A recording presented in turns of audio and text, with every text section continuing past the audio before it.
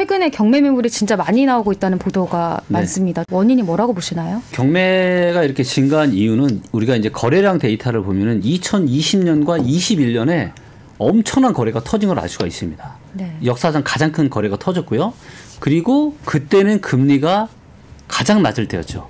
그러니까 금리가 가장 낮을 때 금리가 싸니까 대출 끌어다가 엄청나 많이 샀는데 금리가 이제 굉장히 급등을 하게 되면서 이런 것들이 어, 견디지를 못하고 이제 경매물건들을 계속 쏟아지고 있는 거죠. 그래서 실제 이제 데이터를 보게 되더라도 저게 이제 전국의 경매 건수랑 매각 건수 데이터인데요. 자, 이제 보시는 것처럼 저 이제 옅은 갈색 같은 저게 이제 어, 경매 건수인데 계속 지속적으로 굉장히 많이 늘어나고 있는 것을 알 수가 있습니다. 보시는 것처럼 경매 물건이 이제 가장 많은 지역은 이제 경기도입니다. 경기도가 지금 경매 건수가 가장 많고요. 여기가 지금 대략 한 3만 건 정도 됩니다. 네. 지난 1년 동안 나온 경매 건수만. 그 다음에 이제 경남이 좀 많아요. 그래서 경남이 한 17,000건 정도 되고요.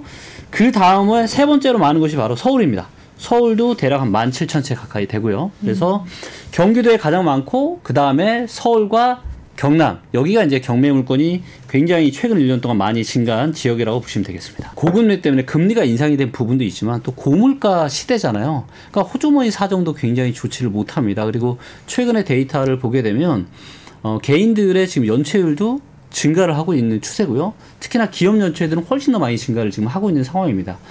그렇기 때문에 사람들 호주머니 사정도 좋지 못하고 그동안에 이제 어, 낮았던 금리가 많이 올라감으로써 이자 부담도 너무 심하고 그러다 보니까 계속 어떻게든 지금 버티려고 하는데 이런 것들이 더 이상 버티질 못하고 경매로 계속 지금 쏟아져 나오고 있는 상황이고 당분간은 이런 추이가 굉장히 계속되지 않을까 그렇게 예상해 봅니다. 그래프를 한번 보시면 네. 어, 일단 경매 물건은 당연히 수도권이 제일 많습니다. 그래서 수도권 부동산 시장의 흐름과 괴를 같이 하는데요. 자, 보시는 것처럼 2008년 이제 금융위기 이후로 차트에서 보시는 것처럼 경매 물건 수가 지속적으로 우상향을 합니다. 그리고 이제 수도권 부동산 시장이 대세 상승이 이제 시작이 됐던 2014, 15년부터는 이제 경매 물건이 이렇게 하락을 하는 것을 볼 수가 있고 대세 상승기에는 경매 물건이 그렇게 많지가 않죠. 근데 이제 최근에는 경매 물건이 지속적으로 증가를 해서 지금 2013년에 거의 전고점 비슷하게 지금 올라가고 있는 상황이라는 거죠. 네. 그래서 어 2000년대 초반에 우리가 그때 그 카드 사태가 좀 있었잖아요. 네. 그래서 그 카드 사태 때문에 굉장히 많은 분들이 시장 불용되고 그랬을 때만큼은 아니지만 어 2011년, 12년, 13년 수도권 부동산이 대세 하락하던 그 시기에 거의 정점만큼 이미 경매 물건은 그만큼이나 많이 쌓여 있다라는 거죠. 네. 그만큼 지금 부동산 시장은 지금 상당히 좋지 못하다. 낙찰률 추이는 좀 어떤가요? 아, 네. 여기에서 이제 또 낙찰률 추이가 굉장히 중요한데요. 네. 어, 낙찰률이라는 거는 뭐냐면 어, 예를 들어서 경매가 100채가 나왔는데요. 이 중에서 30채를 낙찰을 받으면 낙찰가율이 30%가 되는 겁니다. 매각가율이. 그래서 이게 지금 보시면 어, 지금 제일 낮은 데가 어디냐면요. 서울이에요. 그래서 2023년 2월 달부터 지난 1년 동안은 평균이 지금 20%가 안 됩니다. 서울이 지금 전국에서 낙찰률이 가장 낮고요. 그 이것이 의미하는 바는 뭐냐?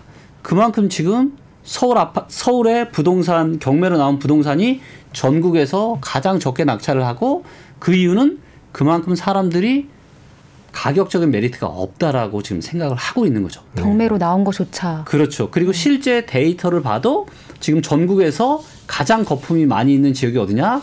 바로 서울입니다. 네. 네. 앞으로 경매 건수는 계속 늘어날 거다 이렇게 보고 계세요. 네, 앞으로도 지속해서 늘어날 걸로 저는 예상을 하고 있습니다. 왜?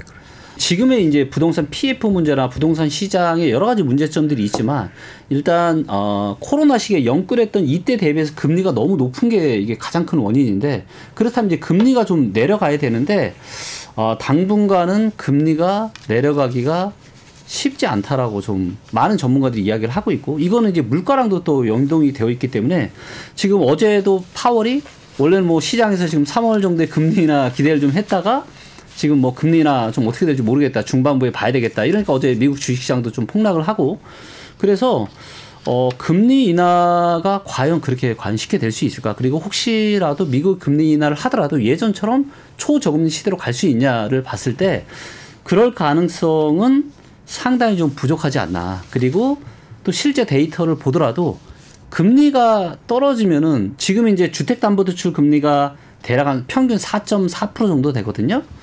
근데 만약에 이게 한 3%대만 떨어져도 이자 부담이 줄어드니까 부동산 시장이 상승할 것 같은데 또 실제 데이터를 보면은 금리가 주택담보대출 금리가 반토막이 났음에도 불구하고 예, 부동산 시장이 또 떨어졌을 때가 있었거든요. 차트에 보시면 어, 선이 세 개가 있는데요. 어, 파란색이 이제 미국의 기준 금리고요. 그다음에 주황색이 어, 한국의 기준 금리. 그리고 빨간색이 한국의 주택담보대출 금리입니다. 자, 그래서 과거에 우리가 고점을 보면은 저 때가 언제였냐면은 2008년 10월 달이었어요. 예, 저 당시에 주택담보대출 금리가 평균 거의 8%였습니다. 네. 예. 근데 2013년 예, 말, 저 때 주택담보대출 금리가 4%가 안 됐어요. 그러니까 8%가 약간 안 되던 거에서 4% 미만으로 떨어졌으니까 반토막이 난 거였거든요. 주택담보대출 금리가. 그러면 이자 부담이 굉장히 많이 줄어들 거잖아요. 훨씬 굉장히 많이 줄어들 건데 그래서 언뜻 생각하면 부동산 시장이 오를 것 같지만 실제로 저때 수도권 부동산 시장은 11년, 12년, 13년 계속 하락을 했거든요. 그렇기 때문에 어, 많은 분들이 김- 금리 인하에 대한 어떤 인하도 기대하시지만 실제로 금리가 인하가 된다 할지라도 부동산 시장은 거꾸로 움직일 수 있다라는 거죠. 네. 그리고 어, 좀 더 정확하게 말씀을 드리면 어, 금리가 인하된다는 건 부동산 시장의 호재예요. 그래서 11년, 12년, 13년에는 올랐던 시장이 있습니다. 거기는 바로 지방 일부 지방 시장이었어요. 거품이 별로 없었던. 근데 금리가 떨어졌음에도 불구하고 왜 부동, 수도권 부동산 시장은 내렸냐?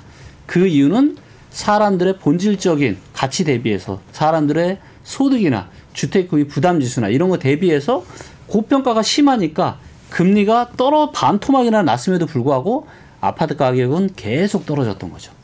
네. 그래서 당분간은 금리 인하가 쉽지도 않을 안, 않을 거고 사람들의 호주머니 사정이 계속 어려울 거기 때문에 당분간은 계속해서 지금 예, 경매로 나올 수밖에 없다. 그리고 부동산이라는 게 이제 개인 명의도 있는데 기업 명의도 많잖아요. 법인 명의.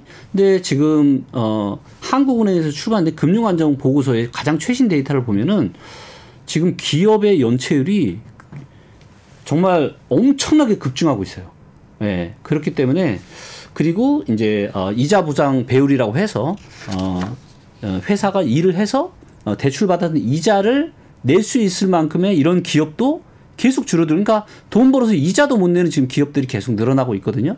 결국 이런 것들이 의미하는 바는 아 앞으로는 어, 경매가 더 많이 많아질 수밖에 없겠다. 네, 이렇게 이야기를 하고 있는 거죠.